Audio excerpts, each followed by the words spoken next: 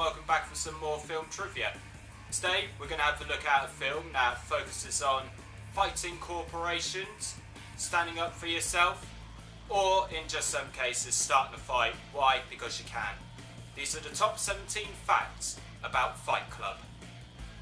Number 17. Author Chuck Palahniuk first came up with the idea for the novel after going on a camping trip and being beaten up by some nearby campers after complaining about the noise from their radio. When he returned to work, he found that none of his colleagues acknowledged or even mentioned his injuries, instead asking such commonplace things as, how was your weekend? Palahniuk concluded that the reason his colleagues reacted in this manner was because it would allow a degree of personal interaction and he found that his colleagues just didn't care enough about him. It was this fascination of societal blocking that became the foundation for the novel. Number 16. According to Chuck Palahniuk, much of the specific content from the novel, such as splicing single frames of pornography into family films, attending support groups for the terminally ill, and erasing videotapes, came from stories that were told to him by friends and what they actually did. Number 15. Producer Ross Grayson Bell originally wanted Russell Crowe to play the role of Tyler Durden, but he was overruled by fellow producer Art Linson, who felt that Brad Pitt was better for the role. Bell has since said that he is glad that Linson stepped in, as he wouldn't imagine anyone being better in the role than Brad Pitt. Number 14. The following actresses were considered for the role of Marla Singer Courtney Love, Anna Friel, Janeane Garofalo, Winona Ryder, Reese Witherspoon, and Sarah Michelle Gellar. Number 13. The following actors were considered for the role of the narrator Matt Damon and Sean Penn. Number 12. The following directors were considered for the film Peter Jackson, Bryan Singer, and Danny Boyle. Number 11. In the short scene where Brad Pitt and Edward Norton are drunk and hitting golf balls, they really are drunk. The golf balls they are hitting are sailing into the side of a catering truck nearby. Number 10. When the narrator hits Tyler Durden in the ear, Edward Norton actually did punch Brad Pitt in the ear. Norton was going to fake hit him, but before the scene was shot, director David Fincher pulled Norton aside and told him to hit him for real.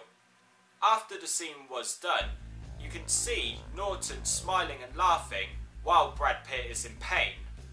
Number 9. When Tyler catches the narrator listening at the door whilst he is having sex with Marla, he is wearing a rubber glove. This was Brad Pitt's idea, and it caused a lot of controversy with president of production of Fox 2000 Pictures, Laura Ziskin, who demanded that the scene be removed. At a subsequent test screening, the sight of the rubber glove got the biggest laugh of the whole movie, prompting Ziskin to change her mind. Number 8. The original pillow talk scene had Marla saying, I want to have your abortion. When Ziskin objected to this, David Fincher said he would change the line on the proviso that the new line stays in the film. Ziskin agreed, and Fincher wrote the new line, I haven't been fucked like that since grade school. When Ziskin saw the new line, she was even more outraged and requested the old line be put back in. As per their agreement, David Fincher refused. Number 7. Tyler Durden was originally going to recite a workable recipe for homemade explosives, but in the interest of public safety, the filmmakers decided to substitute fake ones for the real ones. Number 6. Brad Pitt and Edward Norton actually did learn how to make soap. Number 5. Brad Pitt wasn't overly interested in making the film until David Fincher arrived on his doorstep during the making of Meet Joe Black, insisting that they go for a beer. It was over this beer that Fincher pitched the idea of Fight Club to Brad Pitt, and he accepted to read the screenplay. Number 4. The famous line, the first rule of Fight Club is you do not talk about Fight Club, is functional to both the plot and to remind the viewers not to ruin the plot twist. Number 3. In an infamous incident, Friday that the film was released in the United States, Rosie O'Donnell appeared on her TV show and revealed that she had seen the film earlier in the week and that she had been unable to sleep ever since. She then proceeded to give away the plot twist of the film and urged her viewers not to go see it. Brad Pitt, David Fincher, and Edward Norton discussed the incident on the DVD commentary track, and Pitt calls O'Donnell's actions unforgivable.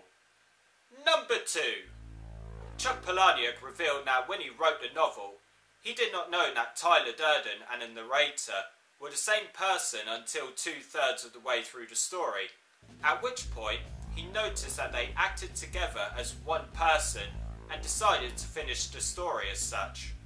Number 1 After the copyright warning, there is another warning on the DVD. This warning is from Tyler Durden and it's only there for a second. It says, If you are reading this, then this warning is for you. Every word you read of this useless fine print is another second off your life. Don't you have other things to do? Is your life so empty that you honestly can't think of a better way to spend these moments? Or are you so impressed with authority that you give respect and credence to all who claim it? Read everything you're supposed to read? Do you think everything you're supposed to think? Buy what you're told you should want? Get out of your apartment be a member of the opposite sex. Stop the excessive shopping and masturbation. Quit your job. Start a fight. Prove you're alive. If you don't claim your humanity, you will become another statistic. You have been warned. Tyler. So that concludes all of our fun facts about Fight Club. Do you have any fun facts about the novel itself, or even more about the film? The filmmaking process, behind the scenes, the soundtrack, anything at all? If you do, as always, leave it in the comment section below. Check us out on Twitter and Instagram. Yes, we have a Twitter and Instagram now. We're moving on with the social media platform. Anyway, give us a like, give us a share, check out our other videos, and keep an eye out for more random trivia coming your way.